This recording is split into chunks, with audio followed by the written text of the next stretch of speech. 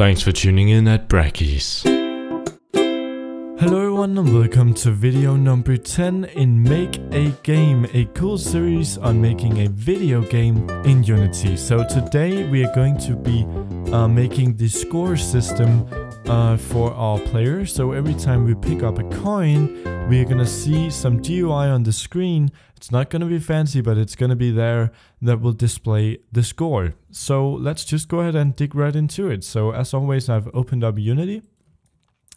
And uh, what we're gonna do now is we're gonna first off select our coin. And uh, no, you know what? Let's uh, because there are two parts to this process. The first is, uh, of course, the coin. We have to uh, to actually change a variable, um, but it's a good idea to store this variable not on the coin itself, because we will have multiple coins spread out the entire scene. And so instead, we could just make an uh, master game object that will have this variable and that will also take care of the uh, GUI. Uh, and then we can just access that variable and change that. So that's what we're going to do. So first off, let's make this master object. So let's go the game object and hit create empty or press Control Shift N. That's of course Command Shift N if you're on a Mac. And let's go ahead and call this underscore GM. And again, the reason why I put an underscore is so that it will stay on top of the hierarchy. Let's just position all of this uh, by 0, 0, 0. That's just general good practice. And let's go ahead and add a new component, new script of type JavaScript. And let's call this game uh, master. Hit create an ad and let's double click it to open it up in Mono Develop. There we go. Oops, this is just some of our previous scripts. So if I zoom in on this, we can go ahead and get started. So first off, we of course want a variable and this variable is going to be var uh, and then we're going to call it uh, current score um, it, it's I'm just gonna call it this because we might also want like a high score, a master score. Okay, let's call this uh, current score like this.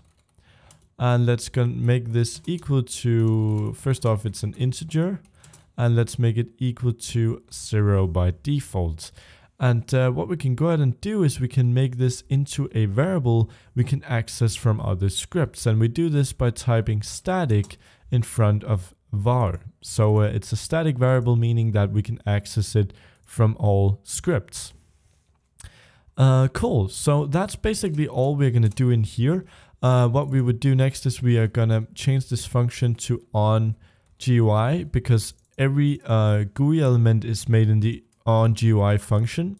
But I'm going to go ahead and talk about the uh, GUI system in a sec. First off, let's just make this variable actually change. So uh, you will notice that we can't see this in the inspector. So what we can just simply do is um, go ahead and make a function uh, that will uh, allow us to see it in the inspector because static variables are invisible and we would like to just know if it's changing. So to easily display it, let's just make a normal variable that will that will be shown in the inspector and make it equal to the current score uh, variable. So let's just call this uh, test and make it default to zero. And then in the function update, we'll just say test equals current score and round it off. And now we should see a variable here that is zero by default. Try again. Uh, wait for it to pop up. We should see it in just a sec. It's having trouble showing. Hmm, and I can't select other objects. It looks like I might need to quickly restart Unity because something has gone horribly wrong with the inspector here. Let's just, yeah. I'm just quickly gonna reopen up Unity. So give this a reboot.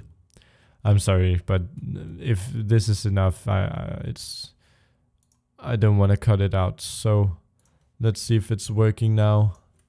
And select our GM and there it was. So we have the variable now. Uh, I don't know why it acted so weird.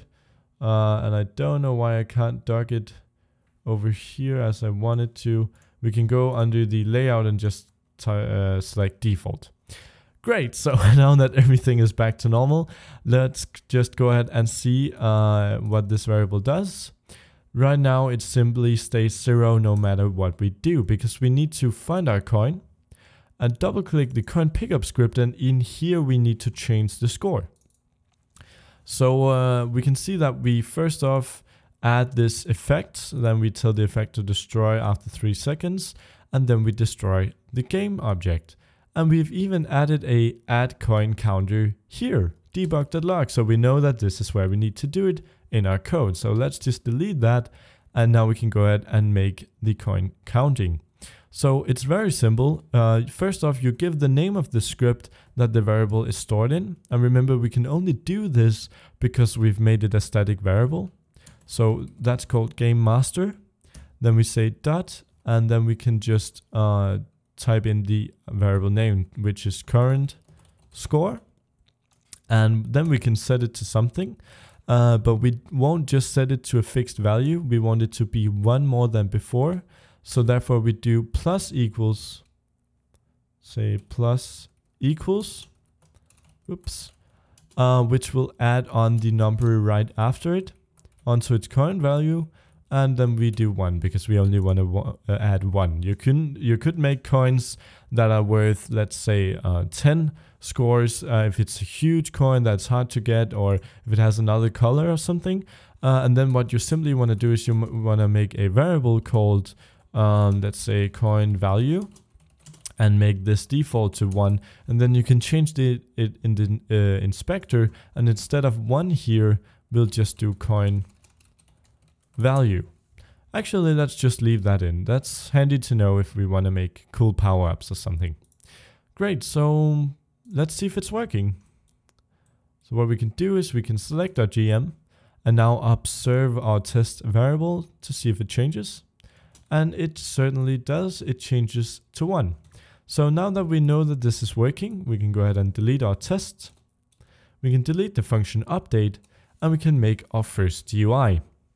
Now, uh, GUI is a pretty serious discussion in, uh, in Unity. Uh, basically, Unity have been promising a new uh, GUI uh, layout system, something for so long as I can remember. um, but it should hopefully be done in the near future. Uh, but the specifics we really don't know. And the reason why everyone is so longing for this is that the current system is, well, to say it out clearly, uh, really bad. Uh, so basically, there are several ways to do G uh, GUI as is. You can do it completely through scripting, which is what we are going to do because this is the uh, quickest and easiest way. You can also do it using uh, an in-game thing that Unity made called uh, it's the if I see if I can even find it, it's the GUI, GUI texture. But that's not really a viable option either. And GUI is just hard on the computer. Uh, though if you are willing to pay for uh, good GUI, there is a plugin called NGUI. That's just NGUI like this on the Unity Asset Store, and it is a little expensive, but it's in, insanely uh, uh, well done, and most professionals use it around the world. And it's the same guy who made this plugin who is currently working on the solution for for Unity. But until all of this gets cleared out, let's just use the good old uh, G GUI system. So in the function on G uh, GUI, where all the GUI code gets called, let's type uh, GUI dot, let's do a label. And uh, we can see that a label first off wants a position, then it wants some text. So what we can do is we can first off get it, uh, give it the position. So let's do uh, new rect like this and open this up. So new rectangle. And in here we want to do uh, screen dot height. And uh, let's do times 0 0.5 comma screen dot width uh, you could also just do divided by 2 that's up to you. And let's close this off. And then comma and then the string name and this is just going to be uh, score. And uh, then close it off and end it up with the parentheses or uh, a semicolon of course. So now when we try to hit play we get some errors. Uh, first off we can see that I've spelled height wrong. That's annoying. Uh, height like that and let's see if this works right so uh, it says that it doesn't match the argument list and uh, this is because uh, we need to use ADUI.box, of course. Uh, so we make a new rectangle and uh, in here we also need to declare the sizes. So we need to do, let's try 200 by 200 at first. Uh, so now it should be working and yes it is.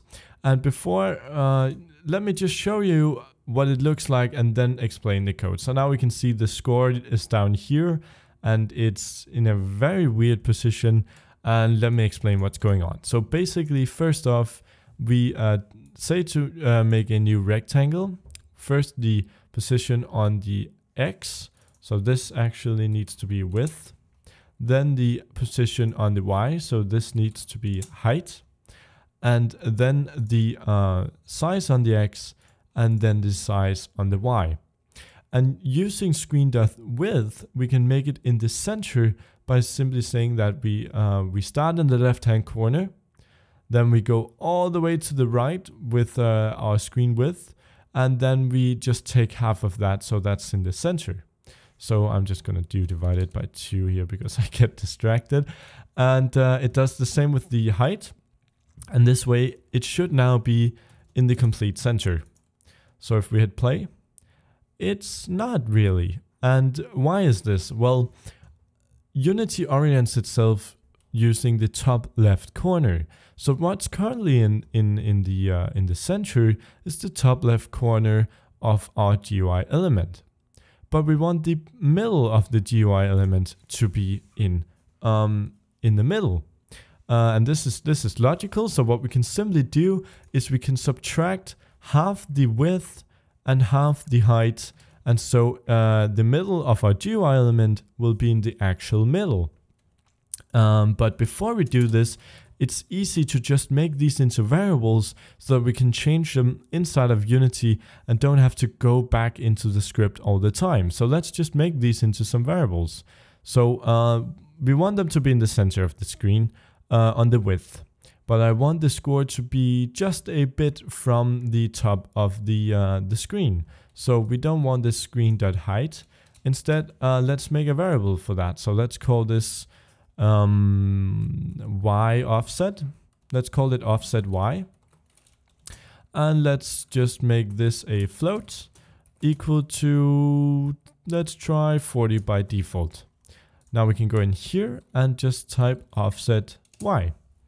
Then uh, on the x, we are going to do another variable and we're going to call this var size x of type float. And this is going to be equal to about 100. Then we're going to do var size y, also of type float. And this is going to be equal to, let's say, 40. Now, if we save this, of course, we need to copy in our actual variables, so size x and size y.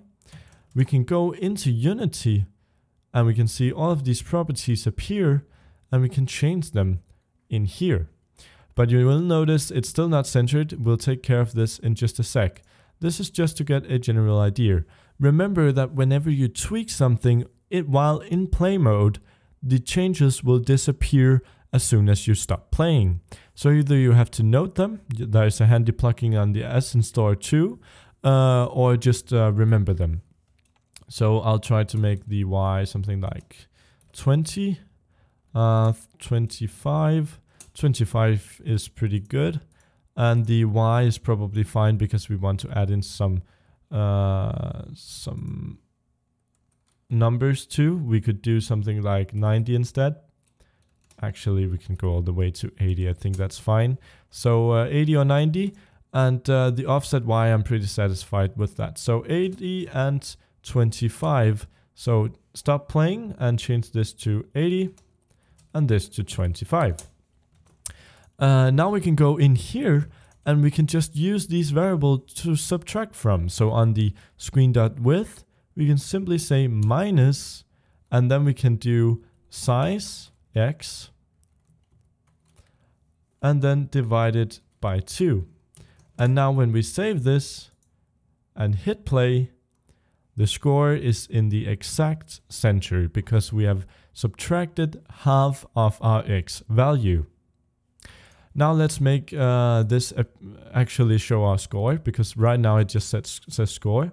So let's make uh, it score colon and then a space. And then outside of these parentheses, you need to say plus current score. And if you don't want it to say anything but only display the number, you have to have these two parentheses but without anything in between. So you still have to leave them there. But I wanted to say the score. So now we hit play and it says score is 0. When we roll into a ball, it says score 1 and we have a beautiful label there to display the score. So that's basically it for this video. I hope you enjoyed it and I'll see you in the next one.